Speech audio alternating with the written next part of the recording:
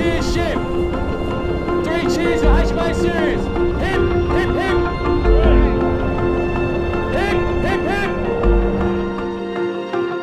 HMAS Sirius has steamed almost half a million nautical miles all over the globe in its 15 years, supporting the Australian fleet as well as partner and regional navies on operations and exercises around the world.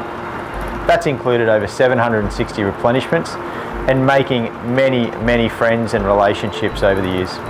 The decommissioning tour that HMAS Sirius is currently undertaking is an opportunity for Sirius to pay back and say thank you to several of the communities that have supported Sirius over the years.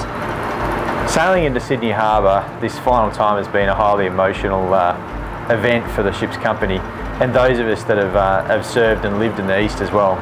It's such a beautiful harbour and to be welcomed by so many of our shipmates the way we were was truly inspiring.